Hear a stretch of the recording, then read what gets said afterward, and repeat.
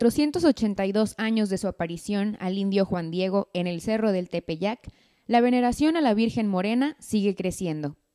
Este año, los festejos iniciaron desde hace días y se intensificaron ayer desde muy temprana hora con el fervor tradicional de los victorenses que ofrecieron a la Virgen de Guadalupe peregrinaciones, danzas, cohetones, flores y cantos.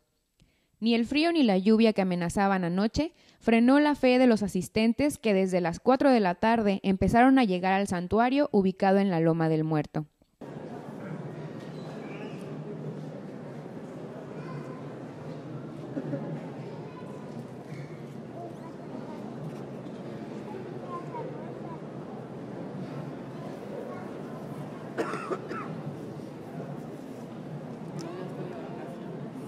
Para las 10 de la noche, toda la atención se centraba en la llegada del fuego guadalupano, que media hora más tarde se hizo presente para posteriormente celebrar una misa por el obispo Antonio González Sánchez, quien invitó al pueblo a pedir a la Virgen que interceda ante su Hijo para que le conceda al país y al Estado la paz.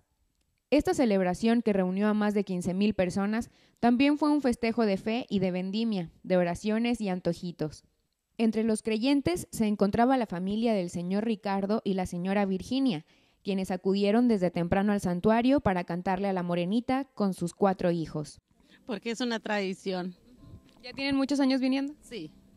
¿Y en esta ocasión por qué vienen? ¿Por algún motivo en especial? Sí, por un motivo en especial. ¿Se puede saber qué fue el motivo que los trajo aquí? A las mañanitas de la Virgen. Así fue como se festejó un año más a la Virgen de Guadalupe en Ciudad Victoria. Para Expreso TV, Ana Hernández. En la cámara, Ángel García.